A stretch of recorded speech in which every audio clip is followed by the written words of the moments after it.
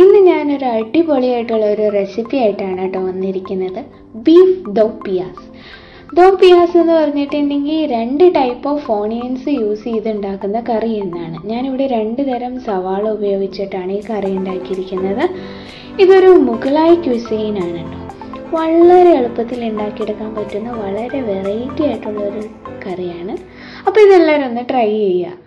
അപ്പോൾ നമ്മുടെ ഇൻഗ്രീഡിയൻസ് ഒക്കെ ഞാൻ ഇവിടെ എടുത്തു വെച്ചിട്ടുണ്ട്. ഒരു ഇരുന്നൂറ് ഗ്രാം ബീഫ് വെളുത്തുള്ളി ഇഞ്ചി പച്ചമുളക് സവാള. പിന്നെ കുറച്ച് സവാള വെഡ്ജസ് ആയിട്ട് അരിഞ്ഞത്. പിന്നെ ബ്രൗൺ ഷുഗർ ഏലയ്ക്ക തക്കാളി പേസ്റ്റ് ആക്കിയത്. ആദ്യം തന്നെ ഞാനിവിടെ ഇഞ്ചിയും വെളുത്തുള്ളിയും പച്ചമുളകും സവാളയും കൂടെ നല്ല രീതിയിലൊന്ന് മിക്സിയിലടിച്ച് നല്ല ഫൈനായിട്ടുള്ളൊരു പേസ്റ്റ് ആക്കി എടുത്ത് വെച്ചിട്ടുണ്ട്.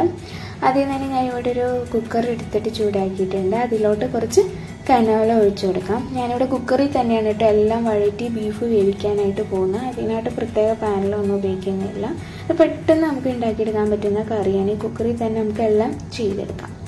അപ്പോൾ ഞാനിവിടെ കുറച്ച് കനോല ഒഴിച്ചിട്ടുണ്ട്. ഇനി നമ്മുടെ നമ്മൾ പീ അടിച്ചു വെച്ചിരിക്കുന്ന പേസ്റ്റ് ചേർത്ത് കൊടുക്കാം. ഞാനിവിടെ ഒരു രണ്ട് രണ്ടര സവാളയോളം എടുത്തിട്ടുണ്ട്. പിന്നെ ഒരു രണ്ട് ചെറിയ കഷ്ണം വെളുത്തുള്ളി ഒരു മീഡിയം പീസ് ഇഞ്ചി ഒരു രണ്ട് പച്ചമുളക്. ഇത്രയാണ് ഞാൻ പേസ്റ്റ് ആക്കി എടുത്തിരിക്കുന്നത്. നമ്മൾ സവാള എത്രത്തോളം ഇടുന്നോ അത്രത്തോളം ടേസ്റ്റാണ് ഈ ദോപ്യാസിന്റെ ഈ കറിയുടെ പ്രത്യേകത തന്നെ സവാളയുടെ ഫ്ലേവറാണ് അപ്പോൾ ഇത് പെട്ടെന്ന് വഴന്ന് കിട്ടും. കാരണം ഇതിൽ നമ്മൾ പേസ്റ്റ് ആക്കിയാണല്ലോ എടുത്തിരിക്കുന്നത്. അതുകൊണ്ട് അധികം നേരം വഴട്ടേണ്ടി വരില്ല. നല്ല രീതിയിൽ വഴന്ന് കിട്ടും. ഇതിലേക്ക് നമുക്ക് കുറച്ച് ഗരം മസാല ഇട്ട് കൊടുക്കാം. ഒരു അര ടേബിൾ സ്പൂണോളം ഗരം മസാല ഒരര ടേബിൾ സ്പൂണോളം നല്ല ജീരകപ്പൊടി പിന്നെ കുറച്ച് മഞ്ഞൾപ്പൊടി. അതും നമ്മൾ ഞാനൊരു അര ടേബിൾ സ്പൂണോളം എടുക്കുന്നുണ്ട്.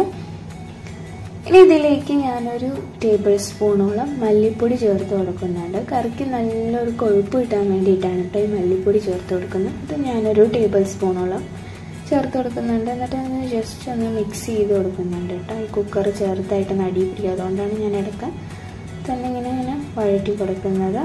ഇനി ഇതിലേക്ക് നമുക്കൊരു ഒരു ടേബിൾ സ്പൂണോളം കാശ്മീരി ചില്ലി പൗഡർ ഇട്ട് കൊടുക്കാം.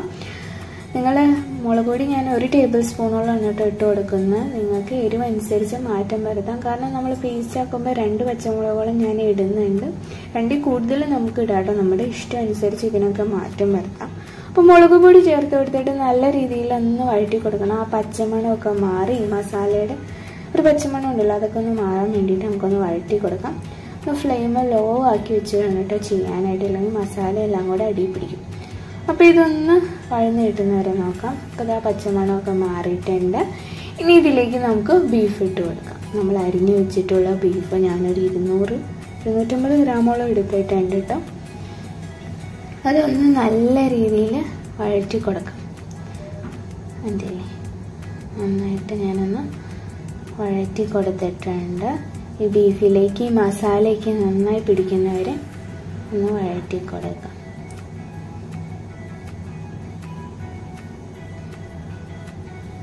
നിങ്ങൾ ഉപ്പ് വേണമെന്നുണ്ടെങ്കിൽ ആവശ്യത്തിന് ഉപ്പും ചേർത്ത് കൊടുക്കണം കേട്ടോ ഇതിന്റെ ഇടയ്ക്ക്.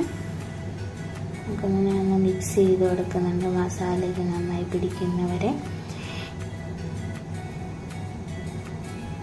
ഇനി ഇതിലേക്ക് നമ്മൾ അടിച്ചു വെച്ചിരിക്കുന്ന തക്കാളി പേസ്റ്റ് ചേർത്ത് കൊടുക്കാം.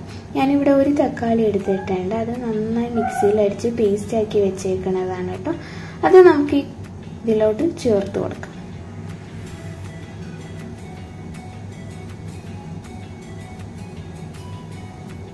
എന്നിട്ട് നല്ല രീതിയിൽ ഒന്ന് മിക്സ് ചെയ്ത് കൊടുക്കാം കേട്ടോ. തക്കാളിയുടെ ആ ഒരു പച്ചമണമൊക്കെ ഉണ്ടല്ലോ. അതൊക്കെ ഒന്ന് മാറി നന്നായിട്ട് അതൊന്ന് മസാലയിലേക്ക് പിടിച്ച് ഒക്കെ വരുന്നത് വരെ നമുക്ക് നല്ല രീതിയിലൊന്ന് മിക്സ് ചെയ്ത് കൊടുക്കാം ഇത്. സ്പൂണിട്ട് നന്നായിട്ടൊന്ന് ഇളക്കി കൊടുക്കാം. നന്നായിട്ട് മിക്സ് ചെയ്തിട്ടുണ്ട്. ഞാൻ ഫ്ലെയിം ഒന്ന് ഇടയ്ക്ക് കൂട്ടി വെച്ചു കേട്ടോ. അത് കണ്ടോ? നന്നായിട്ടത് തക്കാളിക്ക് പിടിച്ചിട്ടുണ്ട് ഇനി ഇതിലേക്ക് ഞാൻ ഒരു ഏലക്ക ഇട്ട് കൊടുക്കുന്നുണ്ട്. ഇനി നമുക്ക് കുറച്ച് ഒരര ടീസ്പൂണോളം ബ്രൗൺ ഷുഗർ ഞാൻ ചേർത്ത് കൊടുക്കുന്നുണ്ട്. ചെറിയൊരു മധുരത്തിനും ആ കറിക്ക് നല്ലൊരു ടേസ്റ്റ് കിട്ടാനും വേണ്ടിയിട്ടാണ് കേട്ടോ ഈ ബ്രൗൺ ഷുഗർ ചേർത്ത് കൊടുക്കുന്നത്. കുറച്ച് പഞ്ചസാര ആയാലും ചേർത്ത് കൊടുത്താൽ മതി. നമ്മൾ കറിയിൽ പഞ്ചസാരയ്ക്ക് ഇത്തിരി ചേർത്ത് കൊടുക്കുന്നത് നല്ല നല്ലൊരു ഫ്ലേവർ കിട്ടും. കറിക്കൊരു പ്രത്യേക ടേസ്റ്റ് കിട്ടുകയും ചെയ്യും.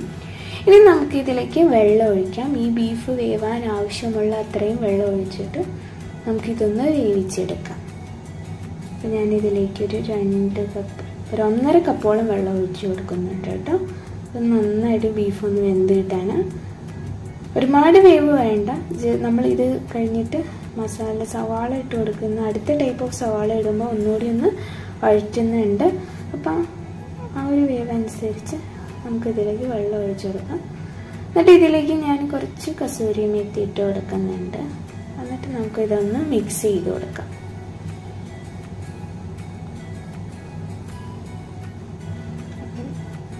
ഇതൊന്ന് മിക്സ് ചെയ്തിട്ട് നമുക്കിനി ഒരു രണ്ട് മൂന്ന് വിസിൽ വേവിക്കാനായിട്ട് വെക്കാം. നിങ്ങൾക്ക് എത്ര വിസലാണോ ബീഫ് വേവാനായിട്ട് വേണ്ടത് ആ രീതിയിൽ വെക്കുക.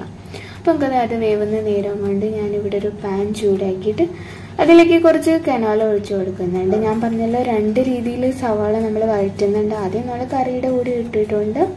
പിന്നെ ഇതിപ്പോൾ നമ്മൾ എണ്ണയിൽ നല്ല പോലെ ആ വെഡ്ജസ് ആയിട്ട് അരിഞ്ഞു വെച്ചിരിക്കുന്ന സവാള അതാ കണ്ടില്ല.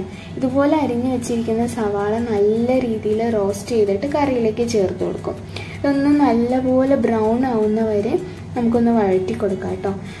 ഇത് കറിയിലേക്ക് ഇടുമ്പോൾ ആ നല്ല ഒരു സവാളയുടെ ആ ഒരു ഫ്ലേവർ കിട്ടാൻ വേണ്ടിയിട്ടാണ് നമ്മൾ ഈ രീതിയിലും വഴറ്റിയിടുന്നത്. ഈ കറിയുടെ പ്രത്യേകത എന്ന് പറയുന്നത് ഈ രീതിയിലും കൂടെ ചെയ്യുന്നത് കൊണ്ടാണ്. കണ്ടില്ല കളറൊക്കെ നന്നായിട്ട് ചെറുതായി മാറി വരുന്നുണ്ട്. ഇതൊന്ന് ലൈറ്റ് ബ്രൗൺ ആവുന്ന വരെ നമുക്ക് വഴറ്റി കൊടുത്തോണ്ടിരിക്കുക കേട്ടോ.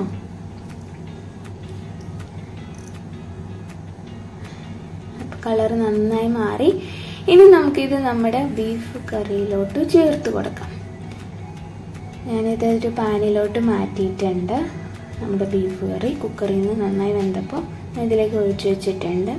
ഇനി നമുക്കിതൊന്ന് നന്നായിട്ടൊന്ന് ഇളക്കി കൊടുക്കാം.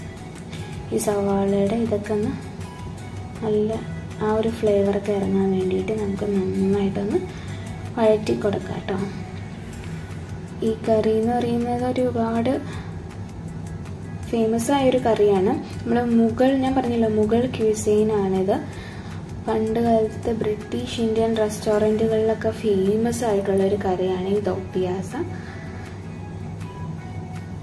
വളരെ ടേസ്റ്റിയാണ്. പല രീതിയിൽ വെക്കുന്നവരുണ്ട്. നമ്മൾ മട്ടൻ ഇട്ടാണെങ്കിൽ അല്ലെങ്കിൽ ചിക്കൻ ഇട്ടാണെങ്കിലും ഈ ഒരു രീതിയിൽ വെച്ചാൽ നല്ല ടേസ്റ്റാണ് ബീഫ് തന്നെ വേണമെന്നൊന്നും ഇല്ല. നമുക്ക് ഏത് രീതിയിലാണ് ഇഷ്ടം?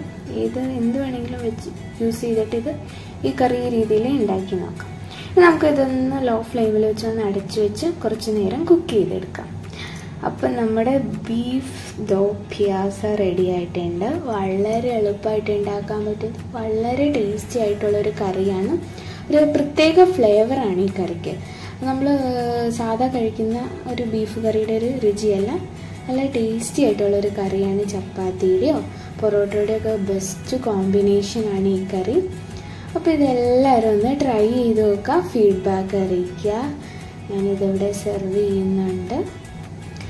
ഞാൻ ഇതിനു മുന്നേ ഷെയർ ചെയ്ത ഒരു ചീസി ഫ്രഞ്ച് ഫ്രൈസിന്റെ റെസിപ്പി എല്ലാവരും കണ്ടു കാണുമെന്ന് ഞാൻ വിചാരിക്കുന്നു. അതിന് എനിക്ക് നല്ലൊരു റെസ്പോൺസ് കിട്ടിയിട്ടുണ്ടായിരുന്നു കേട്ടോ. എല്ലാവരും ഫോട്ടോസൊക്കെ ഉണ്ടാക്കിയിട്ട് ഫോട്ടോസൊക്കെ അയച്ച്. നല്ല റെസിപ്പിയാന്ന് പറഞ്ഞിരുന്നിട്ടുണ്ടായിരുന്നു. അപ്പോൾ ഇനിയും ഇത് കാണാത്തവരുണ്ടെങ്കിൽ ആ റെസിപ്പി ഒന്ന് കണ്ടു നോക്കുക. എന്നും പറയുന്ന പോലെ ലൈക്ക് ചെയ്യുക സബ്സ്ക്രൈബ് ചെയ്യുക മാക്സിമം എല്ലാവരിലോട്ടും ഷെയർ ചെയ്യുക. താങ്ക്